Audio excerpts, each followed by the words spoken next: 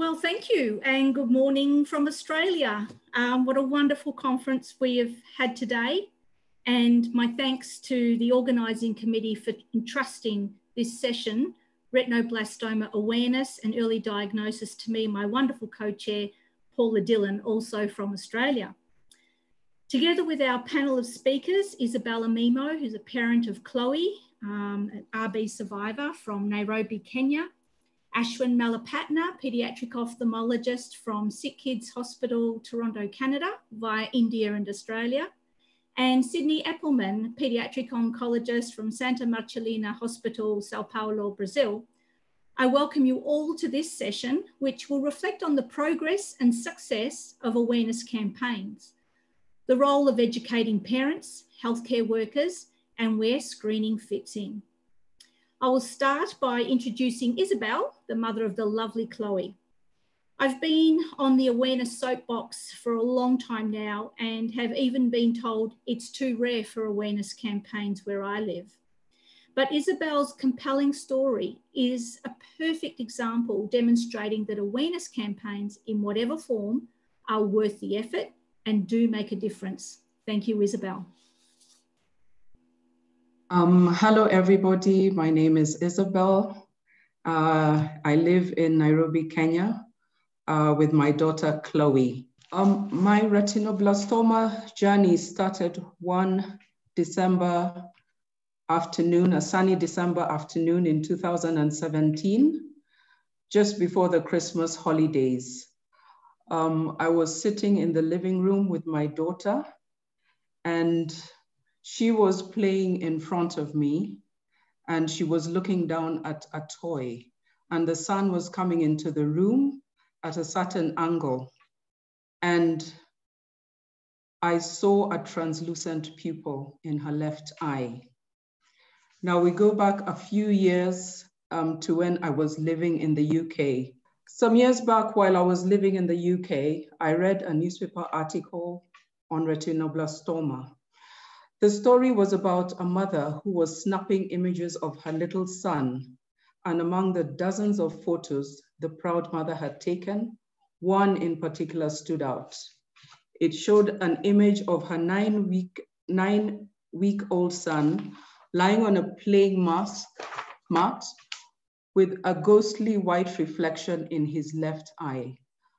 Alarm bells immediately started ringing for the mother who had never seen anything like it before. After a trip to the GP, the little boy was swiftly referred to the local children's hospital where a consultant delivered the devastating news that a rare eye cancer had caused a large tumor behind his eye.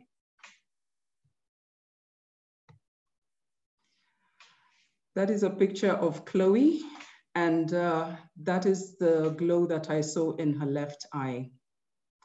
And I must say that immediately I recognized this symptom because I remembered the article in the newspaper that I had read.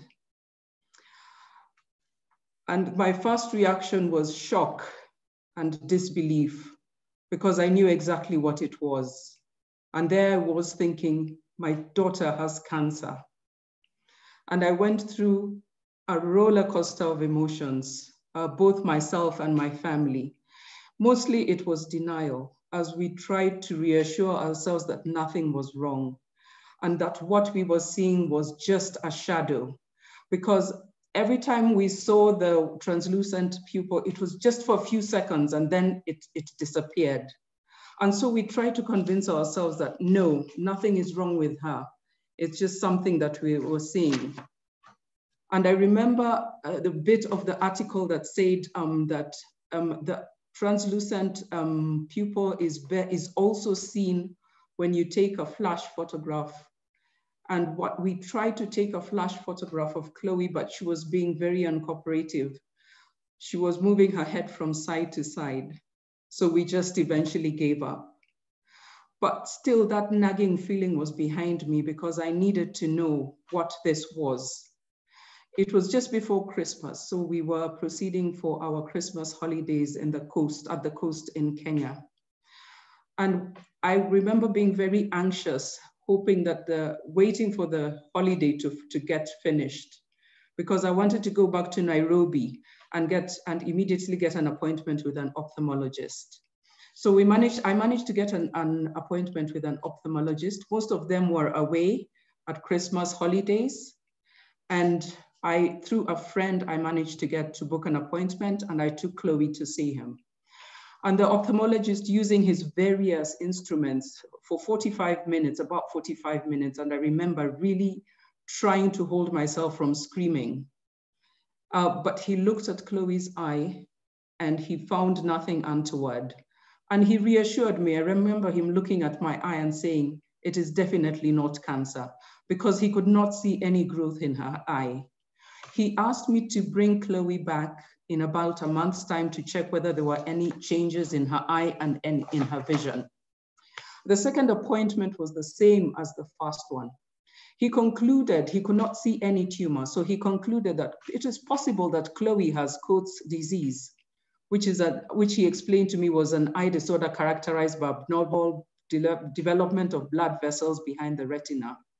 He informed me that this could be corrected through laser surgery, and he referred us to a, vit a vitreoretinal surgeon. I still had this nagging feeling that it could be more than just Coats syndrome. And you can imagine I went to Google and read everything about Coats syndrome and also retinoblastoma. I managed to book an appointment with a surgeon and I booked Chloe for what I thought was just going to be a simple 45 minute procedure, laser surgery.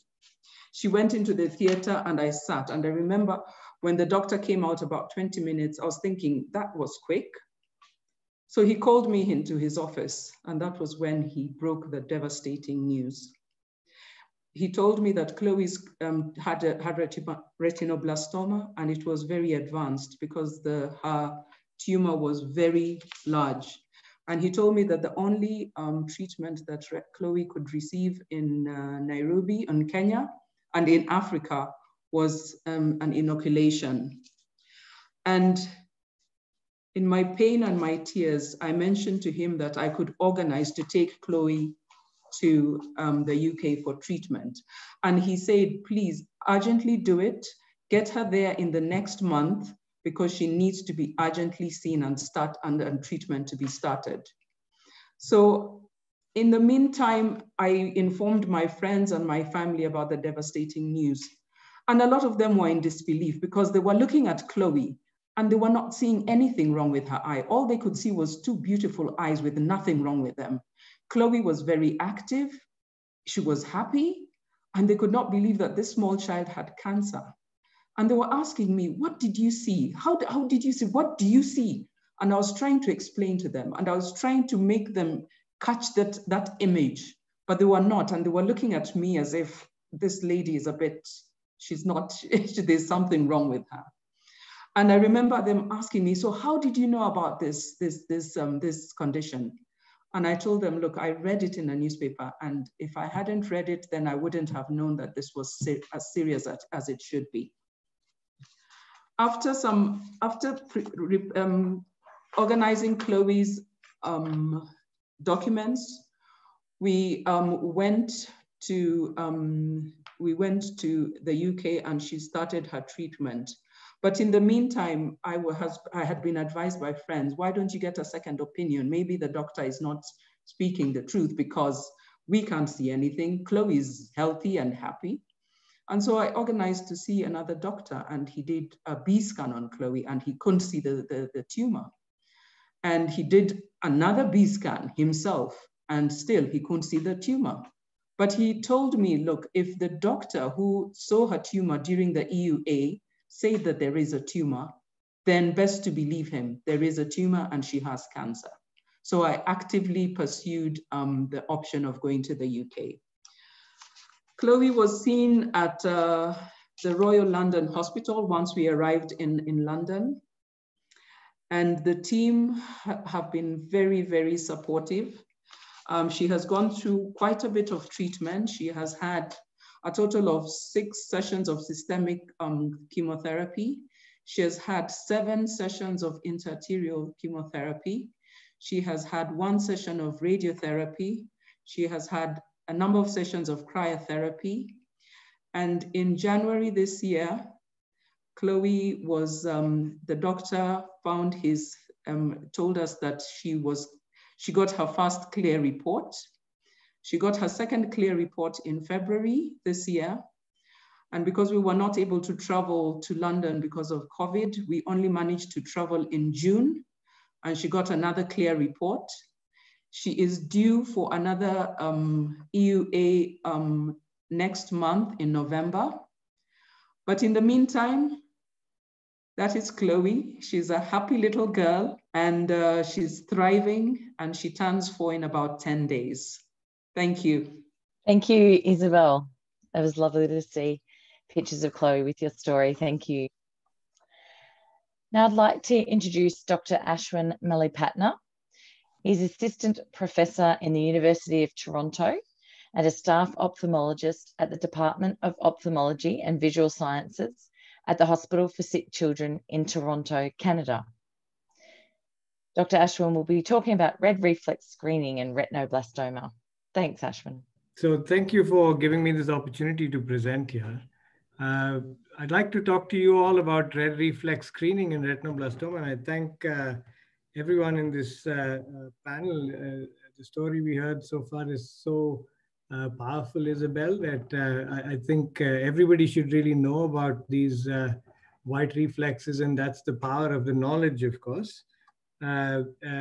You know, there are many ways to dissipate that knowledge. One of them is a poster campaign and you can dance on the streets uh, sharing the news about it. You can run marathons sharing that as well. Uh, but another way to do this is to sc actively screen. And we don't know if uh, uh, we don't have as much evidence that the screening works for retinoblastoma as, it, as much as it works, as much as the posters work for it. But definitely red reflex screening can detect uh, eye abnormalities in a way that uh, we, we hope that retinoblastoma is one of those many eye abnorm abnormalities that uh, is detected by red reflex screening.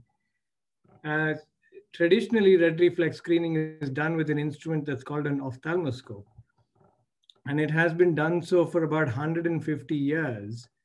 So this has become the norm of practice. And uh, all through these 150 years, there was uh, uh, uh it, it, was an easy enough test to perform. Therefore, it wasn't really, uh, we hadn't moved this test through the evidence that we really require nowadays for any new test to come out.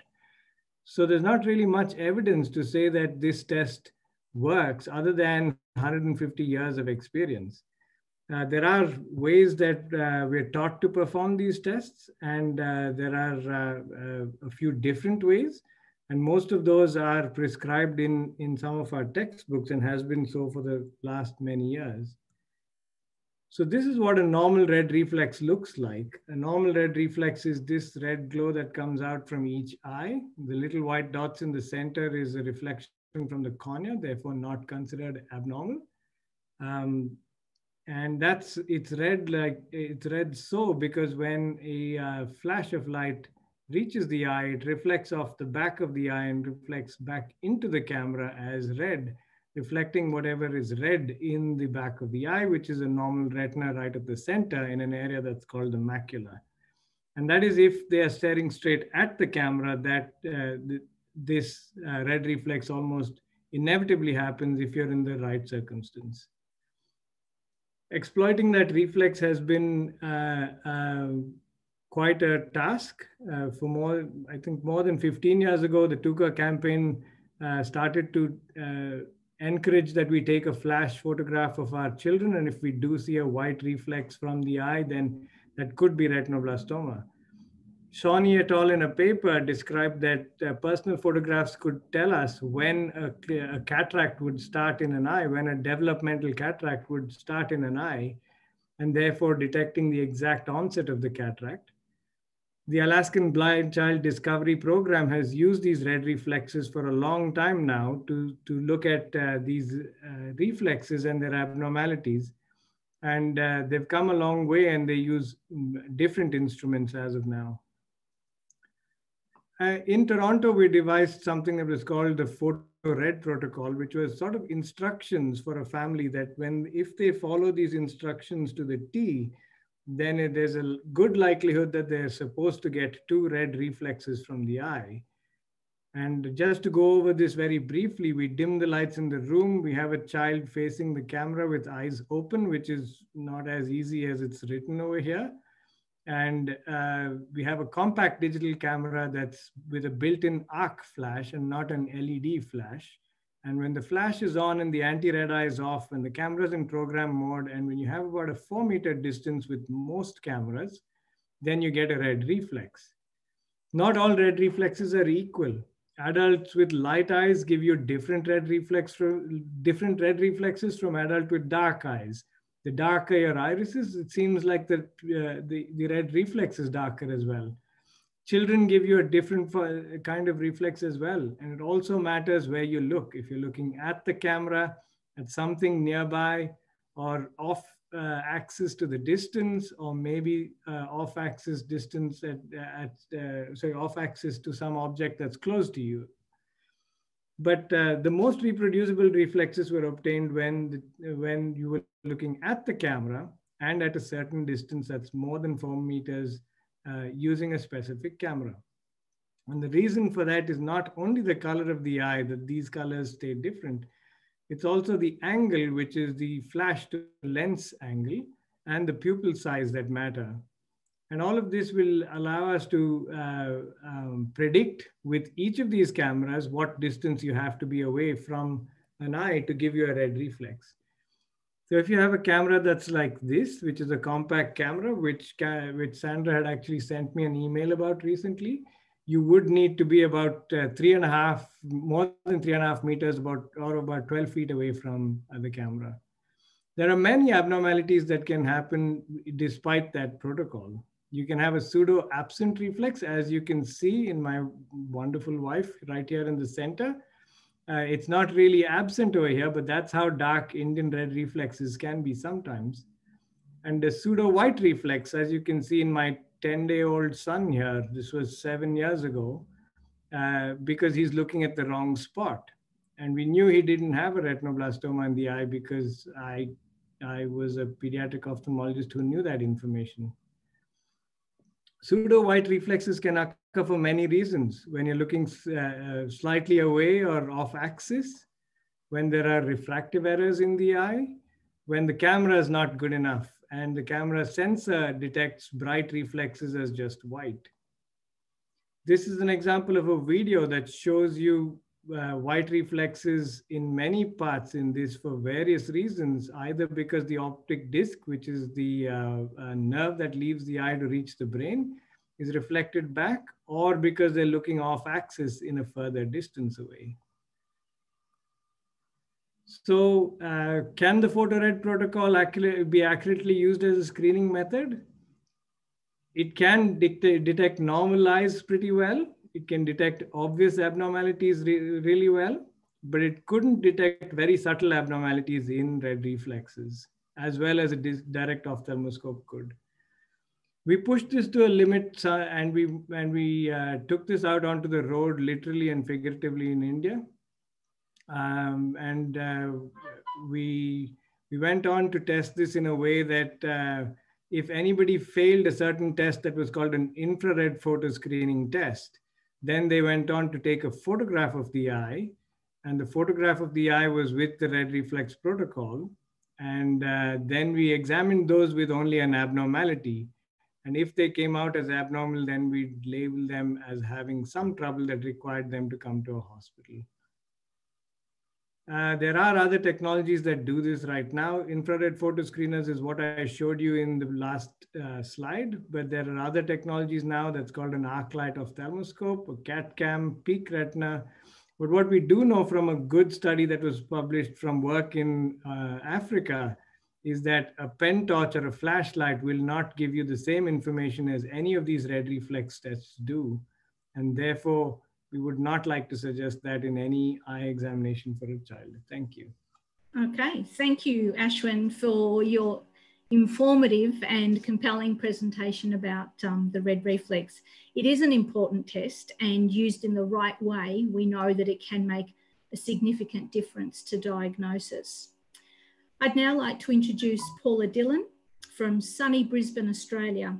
Paula is the mother of Grace, a vibrant and active 16 year old bilateral retinoblastoma survivor whom I had the privilege of looking after many years ago.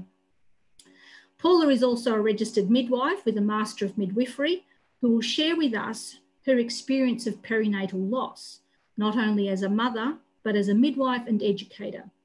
In developing strategies to raise awareness of retinoblastoma, we can look to the experiences of others for guidance and advice on what works, what doesn't, and why. But importantly, we must stay the course and know that in doing so, we can affect change. Thank you, Paula. Thanks, Sandra. So, I'll be talking today about raising awareness and empowering parents. So, reflecting on some strategies to improve outcomes. These are my first two children. Grace, on the left, was diagnosed with bilateral retinoblastoma at the age of five months in April 2004 in Melbourne, Australia. Whilst getting ready for my brother's wedding, we noticed her left eye didn't look right. The pupil looked almost translucent, and photos taken at the wedding with our brand new digital camera showed a white reflection in that eye. I had a friend that at the time had her four year old had recently been diagnosed with bilateral cataract. So I thought maybe she had bilateral cataracts and we'll go and get that looked at. An optometrist and subsequent ophthalmologist appointment several days later, followed by an EUA, confirmed four tumours in Grace's left eye and three smaller tumours in her right eye. Bilateral retinoblastoma, a condition I'd never heard of. My bonny breastfed baby has cancer. Will she die? Was the first question on my lip.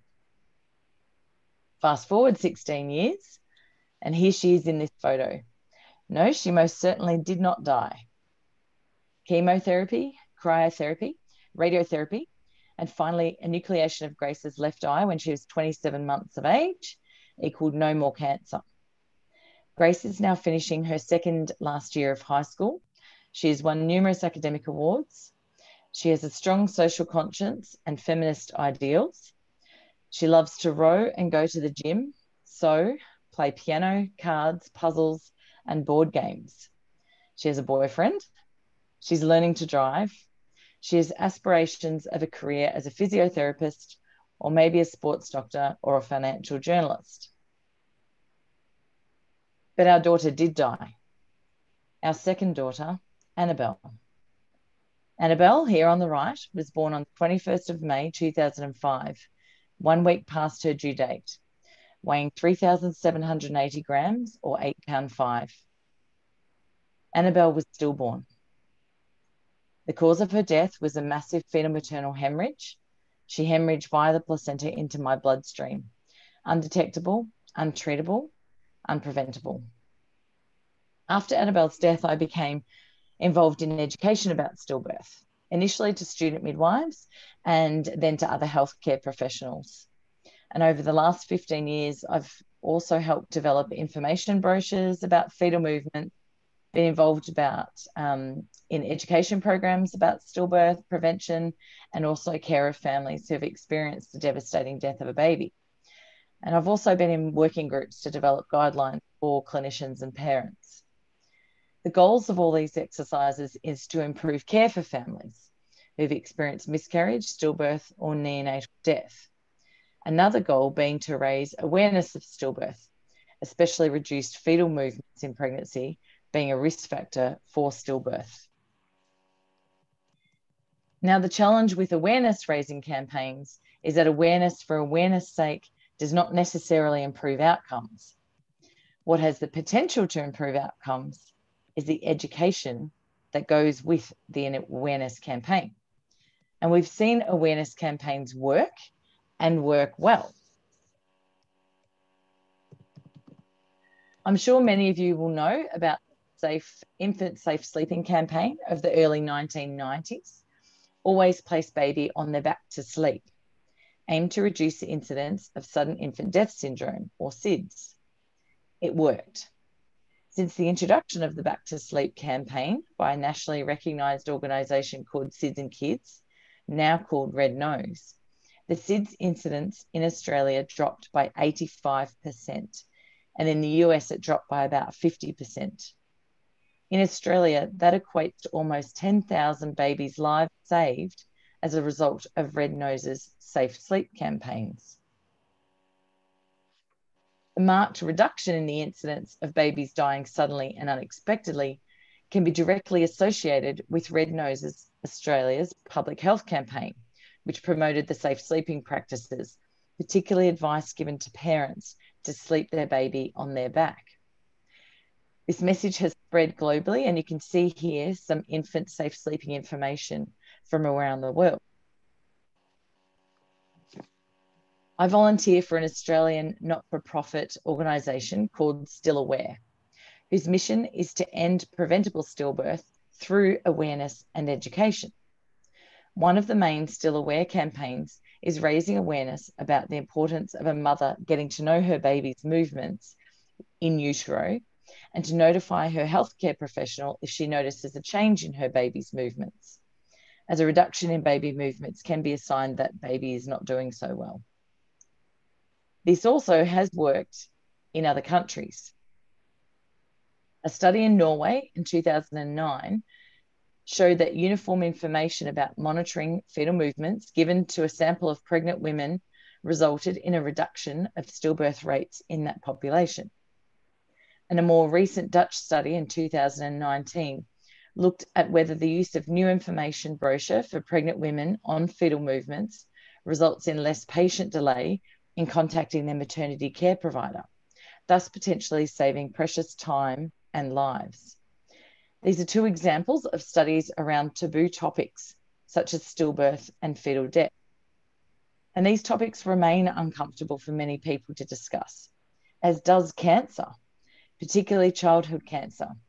But we've definitely come a long way in the last 10 to 20 years.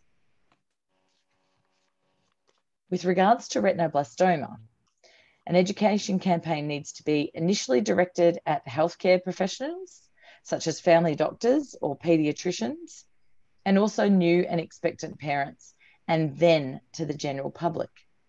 We often hear the lack of awareness and knowledge is on part of the doctor rather than the parent. You've already heard from Isabel um, the importance of parents' input, parents' intuition. Something wasn't right. I thought something was wrong and I wasn't listened to. I wasn't heard. I was perhaps dismissed by the doctor. Perhaps the doctor doesn't know about retinoblastoma, or perhaps they assume it is too rare for them to ever see. If healthcare providers are educated, they can then listen to parents when parents suspect that something isn't quite right. Having said that, if parents are aware, aren't aware, they won't go to the doctor in the first place. Robertson and colleagues in 2008 looked at using information to promote healthy behaviours and found that campaigns with clearly defined target groups have been found to be more effective. For example, universal mass media campaigns aimed at reducing alcohol usage had little impact, but those that targeted specific groups, so for example, pregnant women, were more effective in changing attitudes. We often assume how others will react to negative topics such as stillbirth or miscarriage, infant death, or childhood cancer. However, if presented with evidence based information, it's often not as anxiety inducing as one might anticipate. It's empowerment for parents rather than anxiety. There is information about retinoblastoma out there, and you can see this on my slide here. Let's draw from other proven campaigns, such as the Back to Sleep campaign or the Fetal Movements Awareness campaign, and develop a retinoblastoma awareness campaign so that parents know that retinoblastoma exists and that it is entirely treatable and curable, especially if picked up as soon as possible. Other presentations during this session will briefly discuss the challenges faced with raising awareness of retinoblastoma the role of parents' intuition and public and clinician awareness campaigns, and how early detection can minimize side effects and potentially save eyesight and lives. I live in a developed country. We thankfully picked up Grace's retinoblastoma at the right time, and we saw a healthcare provider who listened and followed their suspicions, which then allowed us to follow a proven treatment regime that saved Grace's eyesight in one eye. Had I received evidence based information during my second pregnancy about the significance of decreased fetal movements, and from that information, had I then acted upon my baby's movements, or sadly lack thereof, perhaps Annabelle would be alive today. Awareness and education work. Thank you. Wow. Paula, thank you for your wonderful presentation. You highlight important parallels between the taboo about perinatal, about talking about perinatal loss and childhood cancer as barriers to developing awareness campaigns, as well as wonderful examples of parent education in action and how that can certainly affect outcomes. I'm sure we will be able to draw on your experience and expertise to develop strategies to raise awareness going forward. Thanks, Sandra. So I'm going to introduce Sandra now, who whom I met 16 years ago, or actually, yes, nearly closer to 17 years ago um, in Melbourne. Now, Dr. Sandra Staffieri, I'm sure many of you know Sandra's beautiful face, has been a clinical orthoptist for more than 35 years. She's currently the retinoblastoma care coordinator of the Royal Children's Hospital in Melbourne. And Sandra's research has focused on raising awareness of early signs of retinoblastoma, treatment outcomes, survivorship surveillance, and the translation of genetic testing for familial, familial or heritable retinoblastoma. Thanks, Sandra. There is no simple or single solution to raising awareness for retinoblastoma. And I think we all realise and know that a multifaceted approach is required. There are many examples around the world of strategies that are specifically tailored to each country's needs. This afternoon, um, well, this morning for me, this, uh, I would like to share with you the centrepiece of my PhD. But before I start, I would like to acknowledge the peak medical research funding body in Australia, the NHMRC or National Health and Medical Research Council, for funding my research. Because when they did, finally I realised that someone else thought early diagnosis of retinoblastoma was important.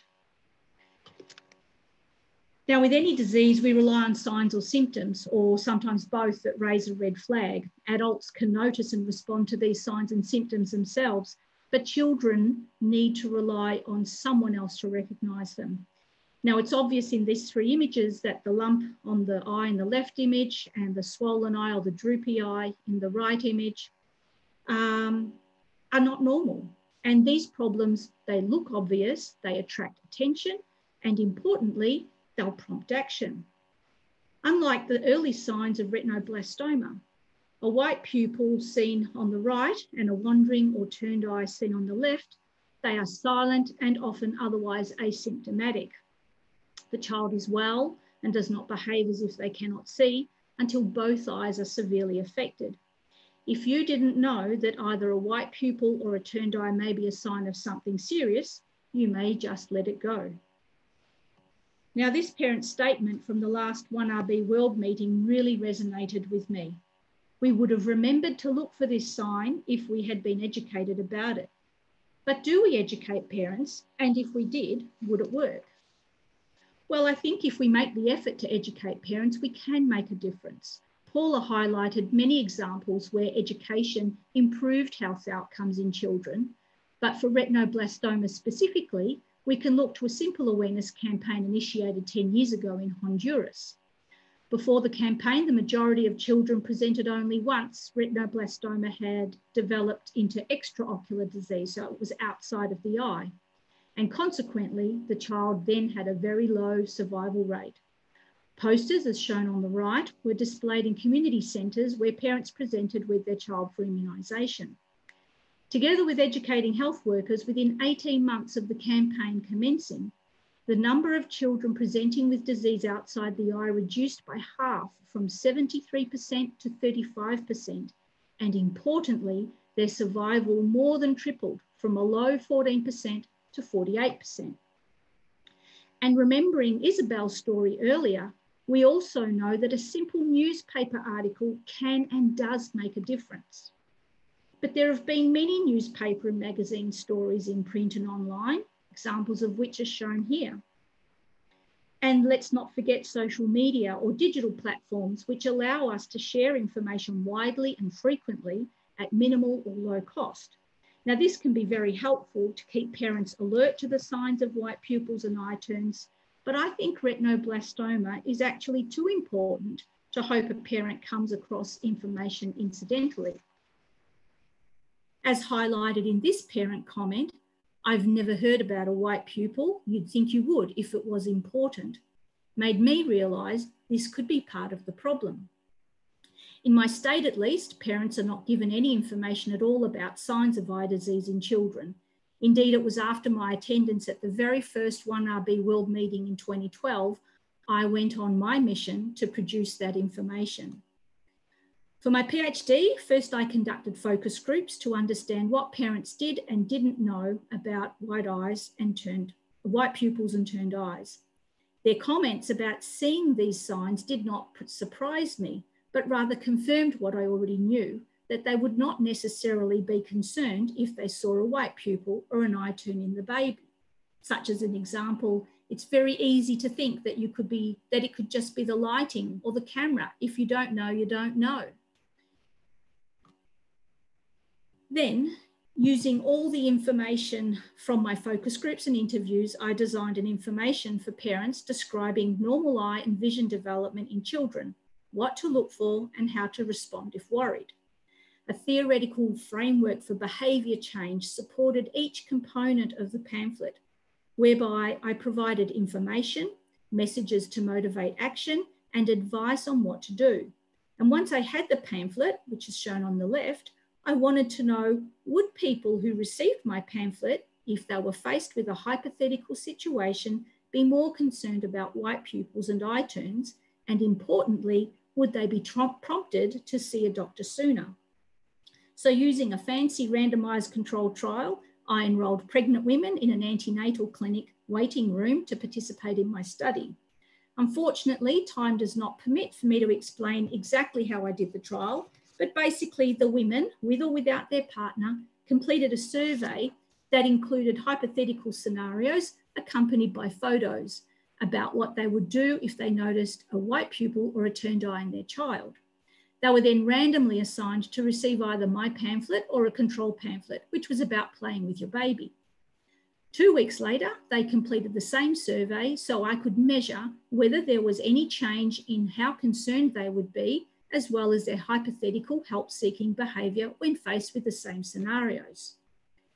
Briefly, the study showed that women who received the pamphlet did in fact report being more concerned when they saw the image of a child with a white pupil, seen here on the left, and were also more likely to seek advice sooner. When they saw the eye turn, shown on the right, however, they were no more concerned. And maybe that's because eye turns as a condition are more familiar to us, but they were more likely to seek advice sooner. Nothing else predicted their changed responses just whether they received the pamphlet or not.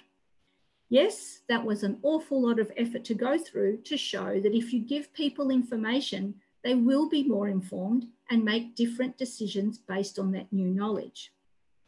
Now I had the evidence. The next challenge was to meet with the policymakers so that all parents could receive the information when their baby was born. That was easier said than done. However, my main messages to the stakeholders were number one, children's eye health information was too important for parents to stumble upon social media or the newspaper, although they are great platforms for reinforcing a health message. And number two, even though my motivation was early diagnosis of RB, the information would help detect many eye diseases in children earlier, not just RB. I wanted to put awareness about RB on the shoulders of all paediatric eye disease, as I had been told many times that RB was too rare to care. The process of dealing with policymakers has been long and tedious, 17 months and counting actually.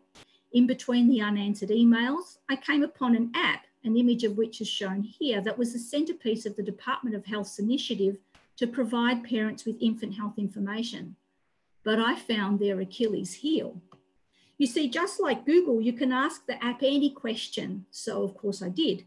Who would have thought searching for white pupil in photo would come up with, sorry, I don't know how to answer that yet, or worse, information about the colour of baby poo.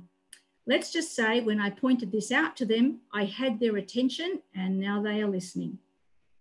The app is now working better and they have even included a link to the web page at my institution that contains the information from my pamphlet and research. I am still fighting to have relevant and important health information like my pamphlet provided to parents systematically, which remains a work in progress. More research on what difference this makes will be critical for it to be sustainable. But maybe there is hope that with education, there will be earlier diagnosis. I leave you with the wise words of Mahatma Gandhi. First they ignore you, then they laugh at you, then they fight you, and then you win. Thank you. So uh, our final speaker is um, Sidnei Epelman, the paediatric oncologist from Brazil with a long history in association with developing retinoblastoma awareness strategies in his local country. We have known for a long time that lack of awareness of the early signs of retinoblastoma contributes to delayed diagnosis.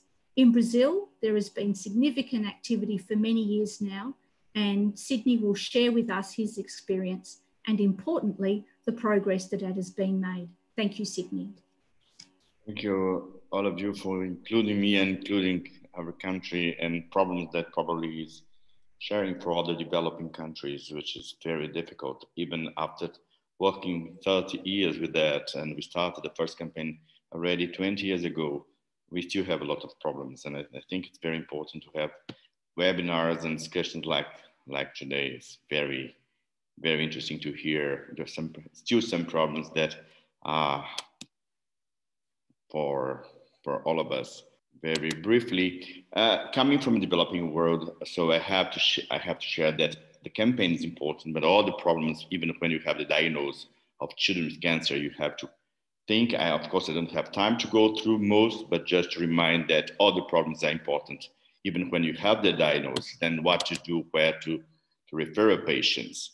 And also, uh, it's very important to know that most of our children still have, even after the diagnosis, through a campaign or educational pro- procedure or process, uh, they have difficulties of access. And that's a big problem that I want to share with you. And because of that, and not only access for treatment, appropriate comprehensive center that can give the, the, the, right treatment and then the patient have the, the advantage of having a, a Sabine procedure, for instance, that's available in the country, but not in our entire country. So it was well shown, and I, I, keep repeating that medical education care for physicians uh, are, are, very important, and we need to do that constantly. It's, it's, a, it's a regular process. And educating parents that's already shown, very well shown is part of our campaign. And uh, we also worked for new legislation and some sometime for old re, re, re, uh, legislation, like uh, how to have the, the studies and the, the procedures done regularly in children, even a newborn and even after in a regular consultation of pediatrician. And as I said, access for accurate diagnosis and state-of-the-art treatment is mandatory when we work in a retinoblastoma program.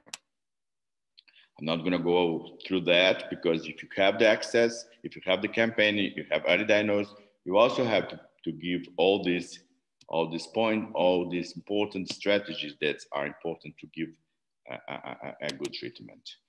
But unfortunately, we still see patients like that. If I'm working there for so many years, it's all campaign, we still, that's a child that comes was referred to us and May 2014, we started work with early diagnosis campaign in 2001. So that's a that's something that we need to keep going and keep going and and doing more and more because unfortunately, and that was a child that unfortunately, even we had access of our center, we couldn't do the best for this patient, unfortunately. So we, we had more patients uh, with uh, extraocular disease. We still have patients with extraocular disease. We still see patients with the first sign and diagnose a long lag time. Uh, in Brazil, we have 400 new cases a year. And as we, we, we know, better treatment is not the solution. We have to have early diagnosis. And that started 20 years ago when you did a lot of, most of you know about our campaign. We have started discussing with the government. Translation, our video for, was available for more than 40 countries in 13 uh, languages. We still can, can, can provide that if somebody is interested. Uh, and those are the, the languages we still have because photograph is still a way to have a, a, a diagnosis and call and as education process for parents. This is still important campaign, but I'll show you other other uh, strategies. So we can you can have those. We I put the address below with this campaign that you can have by YouTube. It's available for free. And uh, uh, uh and the poster uh, we use in the in the beginning and we still do a lot of work now with the with the seller, with all the medias we can have much more multiply much more this kind of posters for for many parts of the country and much more less expensive than in the in the beginning it's very hard to know how many patients were uh, diagnosed through the campaign because most people don't uh, allow us or don't uh, report us that was the diagnosis. And we are not on the only center we have in the country. So in the first report that we had many years ago, we knew that it was important not only for the diagnosis of the, of the retinoblastoma, but also for, for the diagnosis of other diseases. So that's the importance of educational process and call attention that something is going on wrong in the eye of a child. And we we believe, and that's that's what is, is shown that that's part of a campaign for prevention of blind, blindness in childhood. That's a very interesting story because this patient, they have the diagnosis, not an early diagnosis, but through the campaign, he had diagnosis. That was, he lived for uh, 15 days by boat from the capital of Amazon. Then they took the plane for, for more four hours to Sao Paulo, where uh, uh is our center. And that was a big story, but at least he had diagnosed, late diagnosed, but through the campaign he had access of diagnosis and treatment. That's also very important in, in, in, in communities and countries like ours. And uh, 10 years later, in 2000, I will show you easily in this uh, timeline, we have the first campaign 2001, 2011. We had, uh, it was important to open a retinoblastoma comprehensive center in our uh, environment, in our hospital, and we could had give access for free for all patients, and that included intraarterial chemotherapy. We, we, we are able to provide all kind of treatment for those patients that come to our center. So that was a part of the strategy because not only some patients had diagnosed, but they didn't have access for the treatment. So in 2011, we opened that because it was was very important strategy. And then this, the, the, next year we had, we, we, we, we were, the president of Brazil at that time signed a decree to transform September 18th, the day of Awareness Day and incentive for early diagnosis in Brazil. That was a day of awareness, a day that we do a lot of uh, uh, uh, alternatives, like uh, I'll show you one of them, uh, because we can raise awareness if you have one day, we can increase understanding of the solution that exists, translate knowledge into actions, and, and that's what I'm gonna say, generate a movement that stimulate collective responsibility and action. And uh, through that, we were, for instance, we all of world know the Cristo Redentor, the Corcovado is our Christ, the Redeemer in Rio de Janeiro is our one of our symbols. So instead of giving pink color like for breast, uh, uh, for breast awareness or prostate, we decide to do something different and then we switch the light for 15 minutes to show that what can happen if the patient have late diagnosis. That's called attention of the media, of the, the, the, television and so on. But not only this monument, we have in many other cities in Brazil, uh, some important monuments that at the same time we turn off or switch off the lights in order to call attention for, the, for that day. And I invite all of you to, to, to be part of us and maybe we can make a, a world movement of switching off some monuments around the world to call attention for that, uh, for that disease. And also we have all the campaigns that are available in our in this address in YouTube. It's free for please feel free to, to see what we can develop to call attention. And uh, as I said, it's important to have also access for, for Brazil, for other developing countries, free access for diagnosis, but also for treatment. Otherwise, the patient have the diagnosis and don't have the, the transition to quickly for a center that can provide good treatment. Next steps, I will not go through all of them, but my, my point that's very important in this webinar is that we have to keep going with educational process and campaign for early diagnosis because that's the, the way to go and uh, we cannot stop. That's a yearly go around to uh, have uh, that and stimulate all these issues uh, and all these science and all this knowledge for as mo uh, for most of the people we can reach. Thank you very much. Well, thank you everyone for a wonderful panel. Um, we have some questions from the audience. I know we're a little bit late on time, but I'm hoping we can get through a few of these before we proceed with our closing remarks. Uh, so the first question um, that I'd like to pose to the panelists asks if you recommend any of the apps that are available for red reflex screening. Um, I don't mind taking that question if that's okay.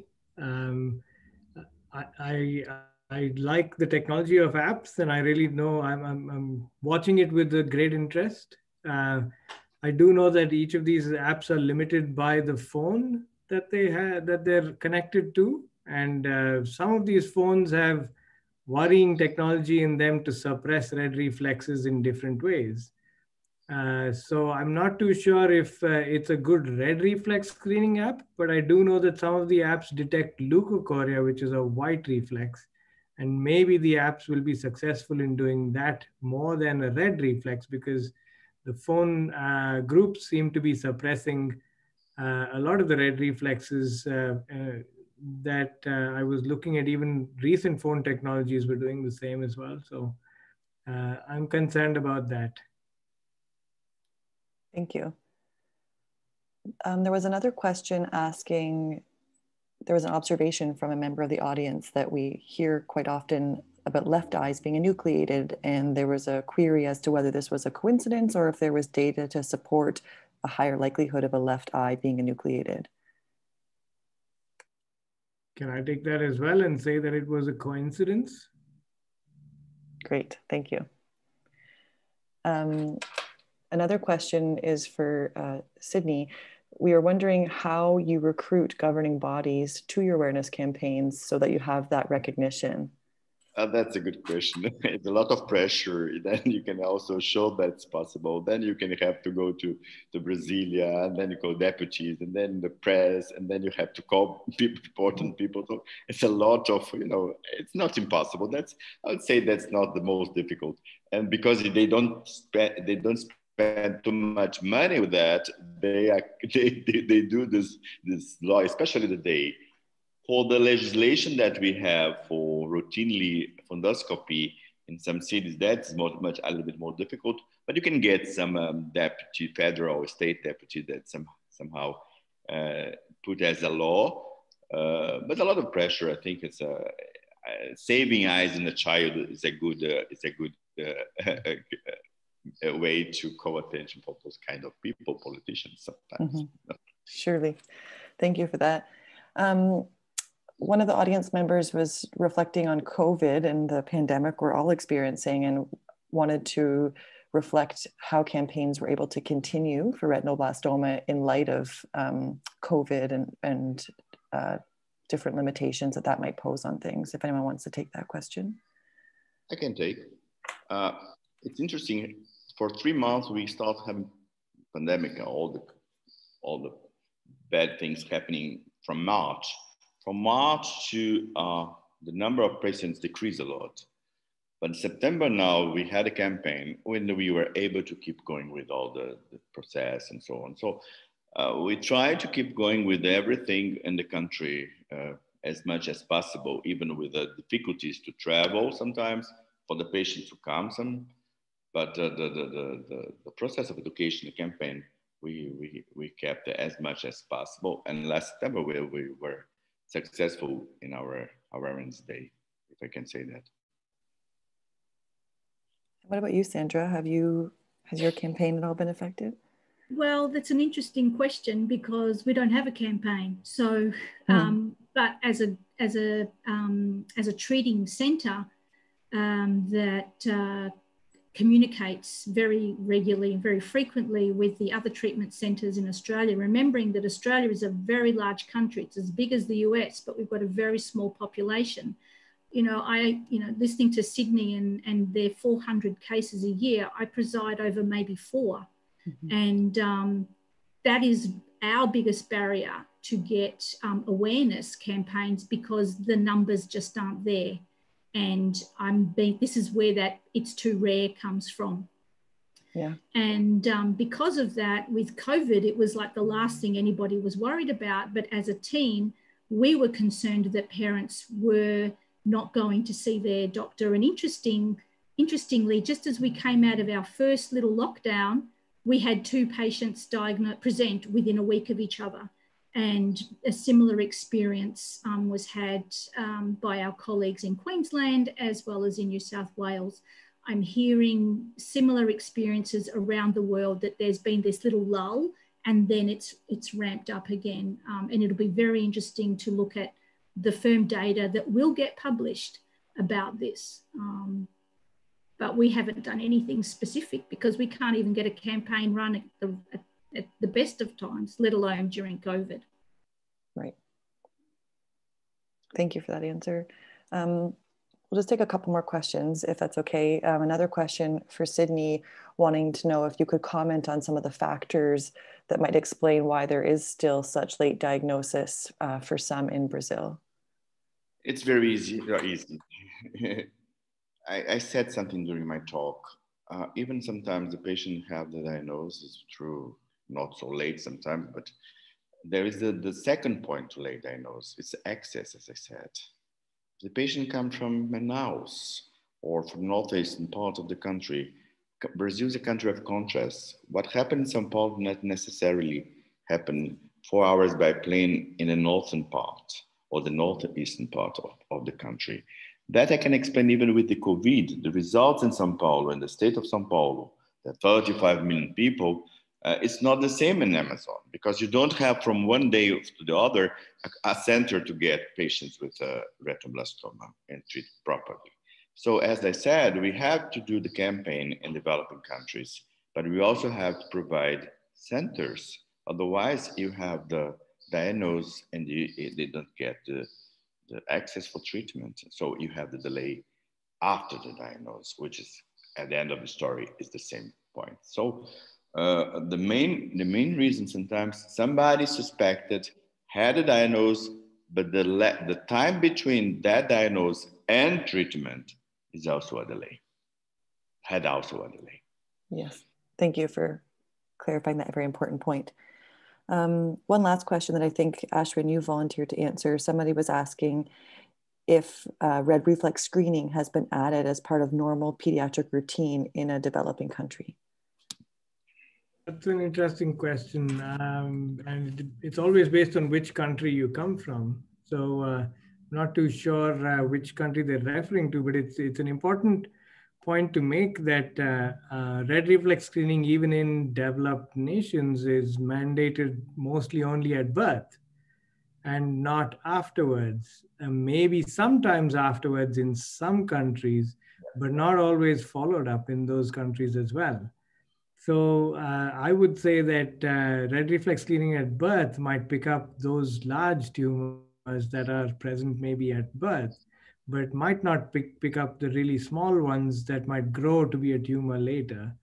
Uh, so uh, um, I think I'm answering the question in a different way, saying that uh, maybe red reflex screening is uh, important in more than just once. We haven't decided when the second time or third time should be, but I would say red reflex screening is important every time they any mother presents with a white reflex in your clinic. So I would think uh, uh, that is the that's the message that should go out, and I really think every other uh, um, thing that's been discussed here, such as the important messages from Tuka, the posters that Sandra spoke about, the stories that Isabel tells and uh, Paula tells as well. I think those are very important in spreading this uh, uh, knowledge of white reflexes. But really, getting the red reflex timing correct is something that we're still getting better at. Can I add something? Absolutely. I think you are absolutely right. It's not just it's just to say that, and that comes back to the screening. As you said, you know, the screening is something that should discuss because uh, the routine is something that doesn't happen everywhere. Even it's by law, it's not done properly. You, you have shown that nicely. But then come back to the discussion about screening, which is to come back and have a discussion that it's, it's really a procedure that should be discussed in some countries, especially in developing countries to have early diagnosis that's a good a good subject to come back and discuss. Not now, of course, but uh, uh, it's quite interesting. Well, thank you um, to all of the panelists in this really great engaging session. It was such a treat to hear from all of you and to hear, of course, the lived uh, parent experience is such uh, a privilege for us. So thank you all very much.